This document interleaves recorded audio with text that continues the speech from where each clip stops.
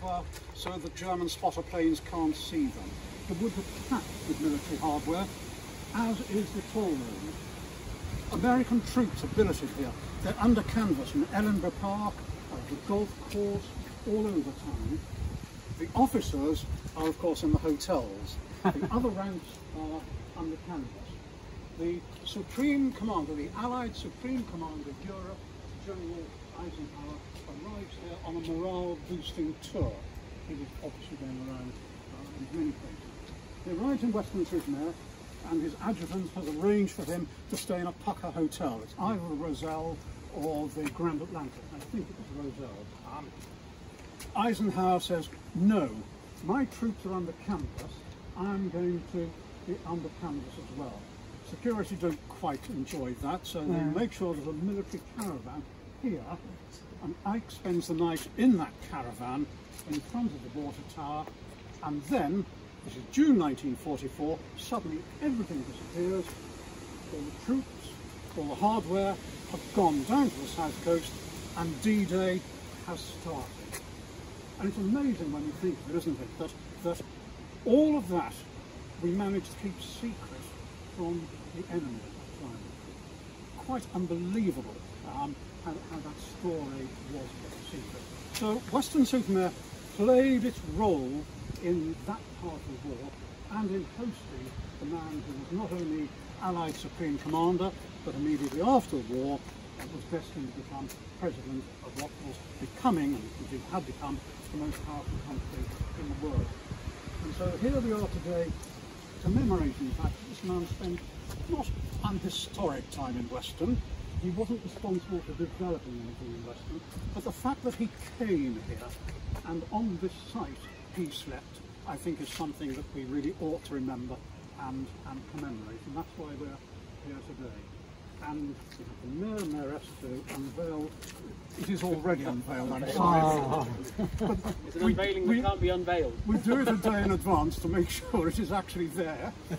Double check there are no spelling mistakes. Uh, and, and, and if we have a flag, and of course it wouldn't pull up, so there it is, but we will officially unveil it. Uh, and we will have our GI from the Airborne Division to help unveil it as well. So that's, that's a very brief history of why we're here and what we are, what we are commemorating. There will be, mm, no, there won't be anyone around here who, who remembers it. There are some people in Weston um, who do actually remember Ike coming here.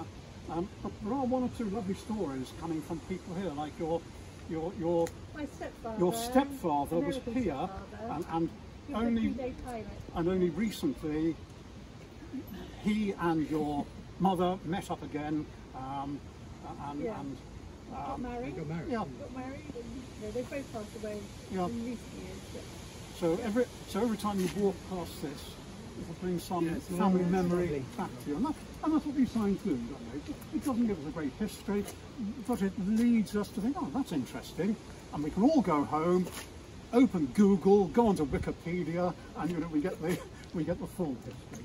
So that's it in, in a nutshell. Mark, do you want to say something? Yeah, I'll just. I'll, I'll be brief. And first of all, thank you for coming. I mean, what a, what a turnout. I think the best so far for a blue plaque. Um, I think that's possibly partly due to the huge amount of interest. Because so many, I, I think to be, it's fair to say, so many people who live in Weston-super-Mare would not have a clue that Dwight was here. Yeah. And I mean, John just said he was here. Well, I, I walked through these woods every day for years and years and years, and I didn't know he was just here. All that was here was always a muddy puddle. And, and, and we find and we find this, and I, and I think, uh, as I say at other, you know, first of all, thank you to the Civic Society for the huge amount of support they give for this, and the town council who partner it, and John as well with his committee who actually decides where these things should go. And I think what's so really important is the fact that this gives us something, some real depth Weston has so much to show and so much to offer because we are now getting these blue plaques and then you start wandering around the town and realising the importance that this town played in the history of Great Britain and the uh, and the wider world from that.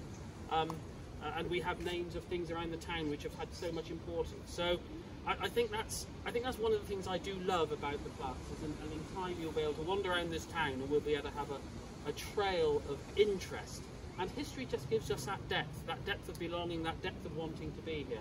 So I'd like to thank all those who have been involved. I'd like to thank you, and, and I, I do appreciate the, the razor wire still, um, which clearly is just to give us a feel of um, uh, of what it's like. And you've got to go over that in a moment, I imagine. but and, and that's exactly what they, they had to face. Uh, you know, that they had to get through whilst being shot at, and what, what, what an awful experience that must have been. But Weston Woods was all part of that story, and I think that um, I think that's so important to remember. So thank you so much for being here, and thank you so much for John. I'm not sure how we unveil. Should we just point whilst they take a photograph? Do you want to do that? Come on, all of us. Point up. Let's point. Who's going to do the photo? Here we are.